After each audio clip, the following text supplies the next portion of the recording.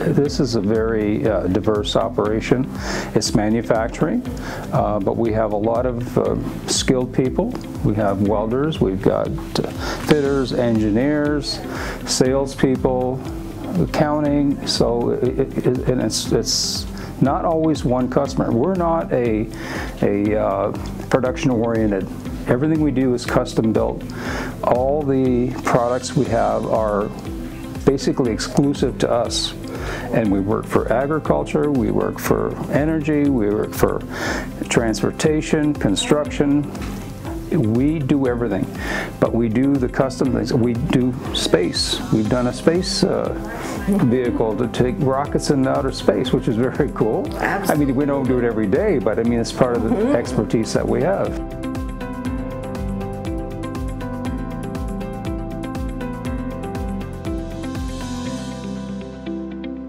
I'm Jason. I'm currently a welder here.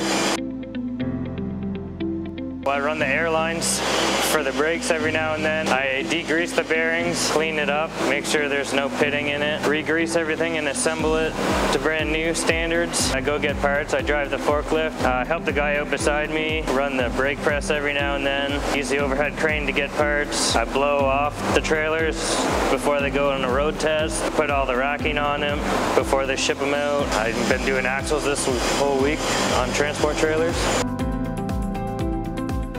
Environment, I think. The company likes the employees, it seems. Like they're not just out for their money.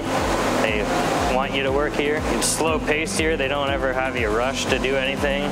They just want it done right. We get bonuses. We got fishing trips that we're going, like a paid charter. We've had barbecues here since I've been here. The boss walks around and tells you that you're doing a good job, makes it seem like you're doing good work and that you're appreciated. They helped me get on EI to start. They've helped me get a job. If it wasn't for you, I wouldn't have got this job. It wasn't on Indeed or nothing like that. You just told me, hey, they're hiring, and you set it up for me for an interview. And then I got the job pretty basically that day. I would. I always try to get help in my opinion. Like help is always better. No point in struggling for no reason. It's always easier to have an extra brain to do something with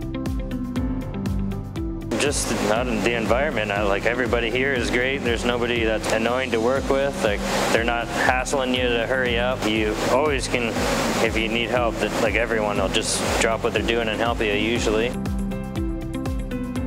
We've always had a good relationship. Uh, we've always had good response.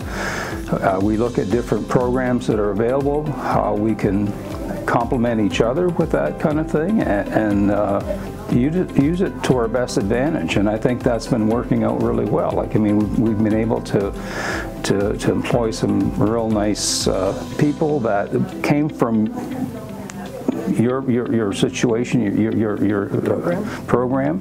So you, you look at that and say, yeah, this works good. I don't need to have all these different sources.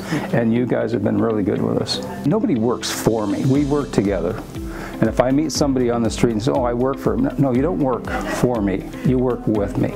We work together. I just enjoy welding, so that's why I like that, I guess. It's for me. All the guys here are good. We joke all day long, have a lot of fun.